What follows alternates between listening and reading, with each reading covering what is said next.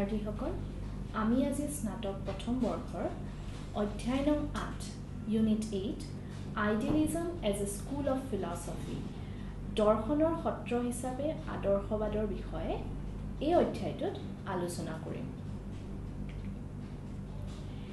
এই অধ্যায়টোত অধ্যয়ন কৰোঁতে আমি কেইবাটাও উদ্দেশ্য পাম কিন্তু এই উদ্দেশ্যৰ প্ৰথম ভাগটো যিহেতু আমি এই অধ্যায়টোৰ প্ৰথম ভাগটোহে আমি ইয়াতে আলোচনা কৰিম সেইকাৰণে প্ৰথম ভাগৰ আমাৰ উদ্দেশ্য কি হ'ল? দ্য লাৰ্ণিং অবজেক্টিভছ কি হ'ব?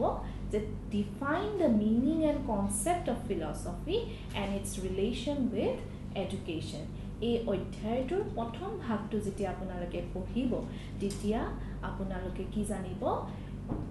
দৰ্শনৰ অৰ্থ আৰু দৰ্শনৰ ধাৰণাৰ বিষয়ে জানিব পাৰিব আৰু দৰ্শন আৰু শিক্ষাৰ লগত থকা যিটো সম্পৰ্ক তাৰ বিষয়ে এই অধ্যায়টোৰ প্ৰথম ভাগত আপোনালোকে জানিব পাৰিব। Now here we are saying that in this unit what you will go' to learn the entire unit এই গোটেই অধ্যায়টোতনো আপোনালোকে কি জানিব পাৰিব? তাৰ বিষয়ে চমুকৈ অলপ কওঁ আহক that in this unit you will learn about the meaning and concept of philosophy তাৰমানে দৰ্শনৰ অৰ্থ আৰু ধাৰণাৰ বিষয়ে জানিব পাৰিব। ইটছ ৰিলেশ্যন উইথ এডুকেশ্যন শিক্ষাৰ লগত দৰ্শনৰনো কি ধৰণে দৰ্শন জড়িত হৈ আছে তাৰ বিষয়ে জানিব পাৰিব। আৰু an idealism as a school of philosophy দৰ্শনৰ সত্ৰ হিচাপে আদৰ্শবাদনো কি? তাৰ বিষয়ে জানিব পাৰিব।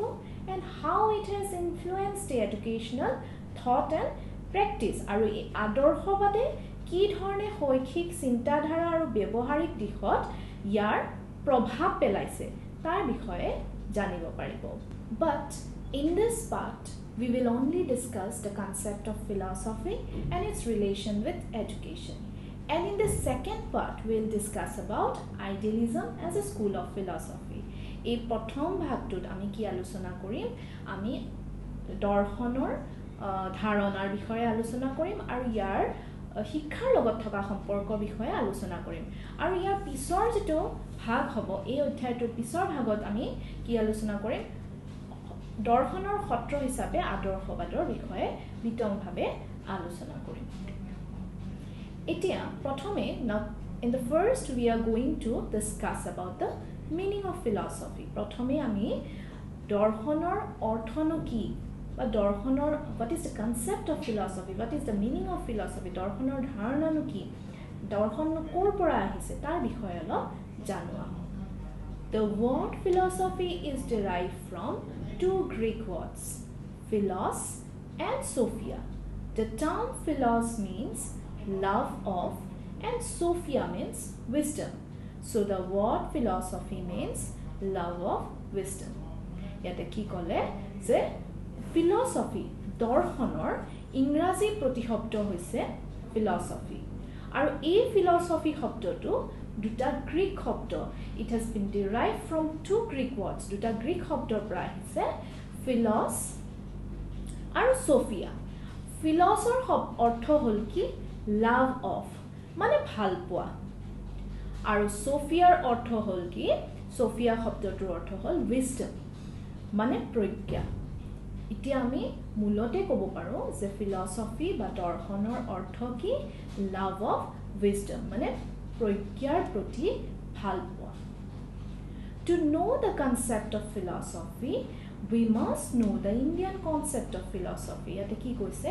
যে আমি দৰ্শনৰ বিষয়ে যদি জানিব লাগে তেতিয়াহ'লে দৰ্শনৰ যিটো ভাৰতীয় ধাৰণা আছে the concept of Indian philosophy সেই বিষয়ে আমি জনাটো অতিকৈ জৰুৰী। দৰ্শনৰ ভাৰতীয় অৰ্থ কি আছে? In Indian concept, philosophy is expressed as darshan, D-A-R-S-H-A-N. ভাৰতীয় ধাৰণাৰ মতে দৰ্শনটো কি ধৰণে express how to express the term darshan D A R S H A N আৰু এই দৰ্শন শব্দটো ক'ৰ পৰা আহিছে? From the Sanskrit word it came from the Sanskrit word drishti. দৰ্শনৰ সংস্কৃত প্ৰতিশব্দ হ'ল কি? দৃষ্টি। টু চি মানে চোৱা। আৰু সেয়েহে ক'ব পাৰি যে দৰ্শনক ভাৰতীয় সাধুসকলে কি কৈছিলে? যে বা তেওঁলোকে কোৱা ধাৰণাৰ মতে সত্যৰ ধাৰণা তাৰমানে philosophy is the concept of truth আমি দৰ্শনৰ দ্বাৰা আমি সত্যৰ ওচৰত বা সত্যৰ বিষয়ে আমি জানিব পাৰোঁ। আৰু সেইকাৰণে কোৱা হৈছে যে তেওঁলোকে আমাৰ যিখিনি ভাৰতীয় সাধুসকল আছিলে বা মনীষীসকল আছিলে তেওঁলোকে দ্য ফিলচফাৰ্ছ তেওঁলোকে কি কৈছিলে যে it's a concept of truth আৰু সত্যতাৰ ধাৰণা বুলি তেওঁলোকে বিবেচনা কৰিছিল।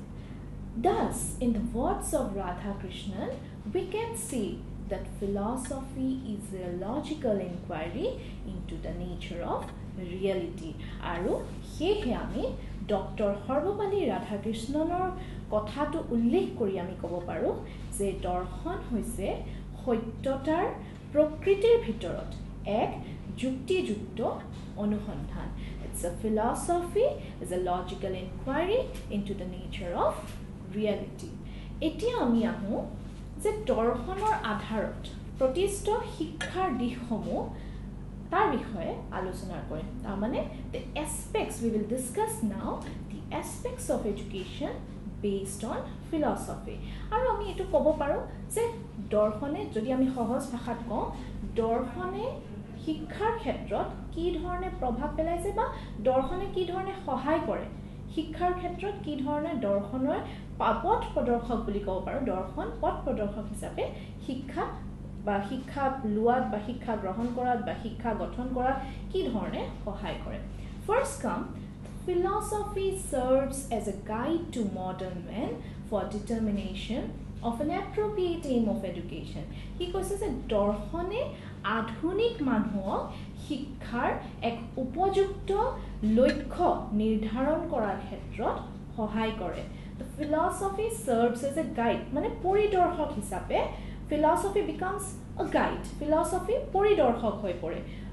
এজন বা নতুন আধুনিক মানুহক মানে শিক্ষাৰ কি ধৰণে লক্ষ্যটো তেওঁলোকে কি ধৰণে শিক্ষাৰ লক্ষ্য হ'ব বা শিক্ষাৰ লক্ষ্যনো কেনেধৰণৰ হ'ব সেই বস্তুখিনি লক্ষ্য মানে ধাৰণ কৰাত এই ফিলচফি বা দৰ্শনে সহায় কৰে। দ্য দৰ a philosophy becomes like a like a guide it's a মানে পৰিদৰ্শক হিচাপে দৰ্শন হৈ পৰে তাৰপিছত কি কৈছে it helps to determine our past cultural heritage which can be transmitted to young generation in school through proper curriculum. আকৌ কৈছে যে দৰ্শনে উপযুক্ত বিদ্যালয় পাঠ্যক্ৰম গঠন কৰাত আৰু সেই পাঠ্যক্ৰমৰ জৰিয়তে আমাৰ অতীতৰ যিখিনি সংস্কৃতিক ঐতিহ্যসমূহ আছে the cultural heritage past cultural heritage মানে আমাৰ অতীতৰ যি যিখিনি সাংস্কৃতিক ঐতিহ্যসমূহ আছে সেইসমূহ আমি কেনেকৈ নতুন প্ৰজন্মৰ মাজত দিব পাৰোঁ বা নতুন প্ৰজন্মক আমি সেই জ্ঞান দিব পাৰোঁ এইখিনি কিন্তু আমাক কোনে ঠিক কৰি দিয়ে? ফিলচফি দ্য ফিলচফি বা দৰ্শনে আমাক এই পথটো দেখায়। আৰু কেনেকৈ দেখায়? থ্ৰু প্ৰপাৰ স্কুল কেৰিকুলাম মানে প্ৰপাৰ মানে উপযুক্ত বিদ্যালয়ৰ পাঠ্যক্ৰম গঠন কৰি এই অতীতৰ যিখিনি ঐতিহ্যখিনি আছে আমাৰ সাংস্কৃতিক ঐতিহ্যখিনি আছে কেনেকৈ আমি সেই পাঠ্যক্ৰমত দি আমি নতুন প্ৰজন্মৰ শিশুক আমি শিকাব পাৰোঁ তাৰ বিষয়ে কিন্তু আমাক এটা পাঠ দেখাই দিয়ে। The philosophy শ্ব'জ us the way to give pass this cultural heritage to our young generation Again, all the new methods of education which we have at present are based on philosophy of education. আকৌ কি কৈছে যে আমি শিশুক পঢ়াবলৈ আমি নতুন নতুন শিক্ষাৰ পদ্ধতি কিছুমান ব্যৱহাৰ কৰোঁ। যিকোনো পদ্ধতি ধৰক এতিয়া আমি পঢ়াই আছোঁ we we may give lecture method আমি লেকচাৰ দিব পাৰোঁ। We may use play way method এতিয়া যে এই খেলাৰ ধূৰা খেলা ধূলাৰ জৰিয়তে যে পঢ়িব লাগে প্লে ৱে মেথড সৰু সৰু ল'ৰা ছোৱালীক পঢ়াব লাগে। In the in the higher education system আমি লেকচাৰ মেথড দিব লাগে ছায়েন্স হ'লে ডেমনষ্ট্ৰেশ্যন মেথড দিব লাগে দেখাব লাগে কেনেকৈ আমি পঢ়াব লাগে।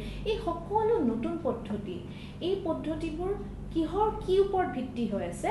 It's it is based on philosophy of education দৰ্শন শিক্ষাৰ দৰ্শনৰ ওপৰতহে ভিত্তি কৰি আমি আজি নতুন প্ৰজন্মক কি ধৰণে শিক্ষা দিব লাগে তাৰ পদ্ধতিসমূহ আমি পাইছোঁ। The maintenance of the principle and standard of discipline in school involves application of sound philosophy of education আকৌ কি কৈছে যে শিক্ষাৰ জৰিয়তে বা বিদ্যালয়ত যেতিয়া আমি শিক্ষা দিওঁ বিদ্যালয়ত কি হয় we have to maintain some kind of principle and discipline আৰু কি কৈছে যে বিদ্যালয়ত এক সুস্থ আৰু আদৰ্শ নীতি আৰু অনুশাসন মানে discipline to maintain the discipline and to give certain kind of important principle আমি কি কৰিব লাগে? যে we need we need to know' some kind how to maintain this standard of discipline আমি কি ধৰণে এই অনুশাসন আমি কৰিব লাগিব বা কি ধৰণৰ আদৰ্শ নীতি আমি দিব লাগিব? এই সকলোবোৰৰ জ্ঞান আৰু হাউ টু এপ্লাই আমি কি ধৰণেনো এই অনুশাসনবোৰ দৰ্শনৰ মানে কি প্ৰয়োগ কৰিম? আমি শিক্ষাৰ ক্ষেত্ৰত প্ৰয়োগ কৰিম। এই সকলোবোৰ আমাক কোনে দেখায়? আমাক দৰ্শনৰ দ্বাৰাহে আমি with the philosophy of education মানে আমি শিক্ষাৰ দৰ্শনৰ যিটো আধাৰ আছে তাৰ দ্বাৰাহে আমি কিন্তু on the basis of that we frame some principle আমি কিছুমান নীতি কিছুমান আদৰ্শ কিছুমান অনুশাসনৰ নীতি এইবিলাক আমি ধাৰ্য কৰোঁ। আৰু ধাৰ্য কৰি সেইবিলাক আমি শিক্ষাৰ ক্ষেত্ৰত আমি মানে আমি উই ইউজ দিছ আমি ইউজ কৰোঁ। আৰু সেইটোৱেই হৈছে তাৰমানে the application how we use this principles In the school with the help of philosophy আৰু আমি দৰ্শনৰ দ্বাৰাহে এই সকলোবোৰ কাম কৰিব পাৰোঁ Next come the concept of formation of child's ideal personality and influence of teacher's personality over the personality of child is based on the philosophy of education. ইয়াতে কি কৈছে যে শিক্ষাৰ জৰিয়তে শিশুক এক আদৰ্শ ব্যক্তি গঢ়ি তোলা আৰু শিক্ষকৰ বাবে এক দাৰ্শনিক চিন্তাধাৰাৰ বিষয় বুলি কৈছে। The how we can create a good personality in a child? আমি কেনেকৈ এজন শিশুক ভাল বা আদৰ্শৱান ব্যক্তি হিচাপে গঢ়ি তুলিব পাৰোঁ? আৰু this is the personality of a teacher এজন শিক্ষকৰ মানে যিটো ব্যক্তিত্ব সেই ব্যক্তিত্বৰ প্ৰভাৱ এই শিশুৰ ব্যক্তিত্বৰ ওপৰত পৰে বুলি কৈছে। আৰু কি ধৰণে পৰে বা আমি কেনেকৈ এই ব্যক্তিত্ব গঠন কৰিম এই সকলোবোৰৰ জ্ঞান কিন্তু আমাক দৰ্শনেহে দিয়ে। এতিয়া now we come to the last part of this this part of the unit এই ভাগৰ আমি লাষ্ট পাৰ্টটো আমি আলোচনা কৰিব গৈছোঁ that is the relation between philosophy and education the relation between philosophy and education কি হৈছে? মানে দৰ্শন আৰু শিক্ষাৰ মাজত থকা মাজত থকা যিখিনি সম্পৰ্ক এই সম্পৰ্কৰ বিষয়ে। কেনেকৈ আমি সম্পৰ্কটো গম পাওঁ? Through by pointing out some points কিছুমান পইণ্টছ আমি ইয়াতে উল্লেখ কৰিছোঁ যাৰ দ্বাৰা আমি যে what is the relation between philosophy and education ইয়াৰ সম্পৰ্কটোৰ বিষয়ে আমি জানিব পাৰিম। The first point is given that is philosophy points out the way to be followed by education শিক্ষাই অনুসৰণ কৰিবলগীয়া সকলোবোৰ দিশ কোনে নিৰ্ধাৰণ কৰে? দৰ্শনে। Now I give small example এটা মই সৰু উদাহৰণ দিওঁ। যেনেকৈ suppose take the example of the aims of education present aims of education আমি শিক্ষাৰ লক্ষ্যৰ কথা যদি কওঁ বৰ্তমান কি হয় the aims of education should be based on democracy as we are dear in the democratic আমি ডেম'ক্ৰেচিৰ কথা যদি কওঁ যে শিক্ষাৰ না এট প্ৰেজেণ্ট ডেম'ক্ৰেটিক এডুকেশ্যন হ'ব লাগে।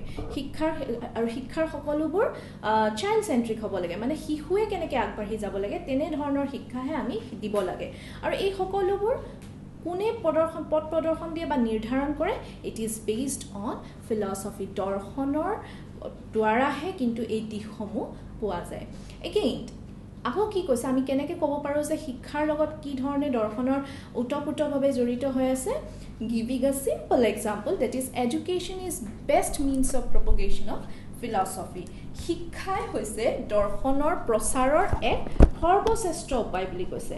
আমি যদি দৰ্শনক প্ৰচাৰ কৰিব লাগে দৰ্শন the what was the philosophy what was the philosophy of any philosopher যদি আমি কওঁ যেনেকৈ আমি ফিলচফি যদি পঢ়ি আহিছোঁ আপোনালোকে পিছৰ অধ্যায়বিলাকতো পাব এতিয়া প্ৰথম অধ্যায় যেনেকৈ এইটো আঠ নম্বৰত আছে আইডিয়েলিজম তাৰপিছত পাব প্ৰেগমেট নেচাৰেলিজম প্ৰেগমেটিজম এই সকলোবোৰ আদৰ্শবাদ প্ৰকৃতিবাদ তাৰপিছত নেচাৰেলিজম এক্সিষ্টেঞ্চিয়েলিজম এই সকলোবোৰ ফিলচফি বিষয়ে আমি কেনেকৈ জানিম?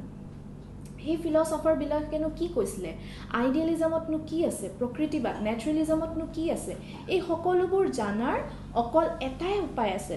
The best way is education তাৰমানে শিক্ষা হৈছে দৰ্শনৰ প্ৰচাৰৰ এক সৰ্বশ্ৰেষ্ঠ উপায় বুলি কৈছে। Means with the help of education every one will come to know' about the philosophy which was there right from the past আকৌ কি কৈছে the great philosophers is also' been a great educators আমি এই দৰ্শন আৰু শিক্ষাৰ যে ওতঃপ্ৰোতভাৱে জড়িত হৈ আছে তাৰ বিষয়ে আকৌ ক'বলৈ আমি কেনেকৈ ক'ব পাৰি যে যিখিনি ফিলচফাৰ্ছ আছিলে যিখিনি দাৰ্শনিক আছিলে পুৰণা দিনৰ যিখিনি দাৰ্শনিক আছিলে কৈছিলে যে তেওঁলোক আকৌ এজন এজন শিক্ষাবিদ আছিলে মই I will give one simple example take the example of Maria Montessori তেওঁ দাৰ্শনিক আছিল but she was also' a great educator তেওঁ আকৌ শিক্ষাবিদো আছিলে কাৰণ তেওঁৰ through the Montessori through the philosophy of Montessori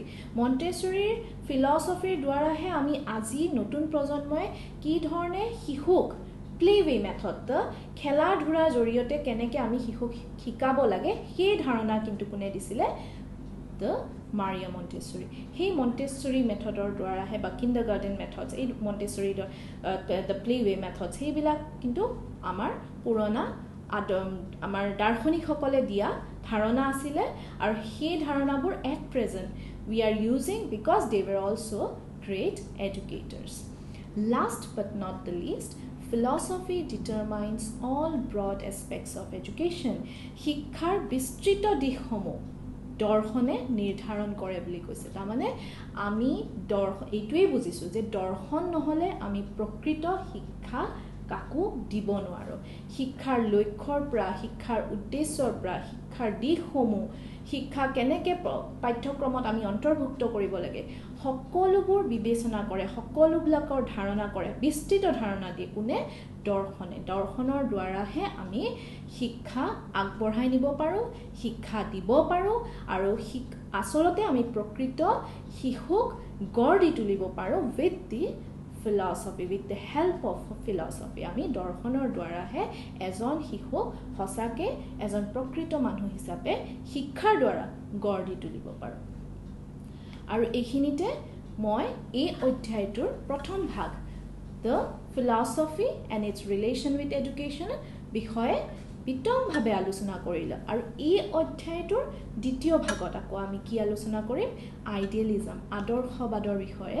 আদৰ্শবাদৰ আদৰ্শবাদ as a philosophy of education as a school of philosophy সত্ৰ হিচাপে আমি আদৰ্শবাদৰনো ভূমিকা কি আছিলে আদৰ্শবাদেনো কি কৈছিলে তাৰ বিষয়ে আমি সকলোবোৰ জানিব পাৰিম। ধন্যবাদ।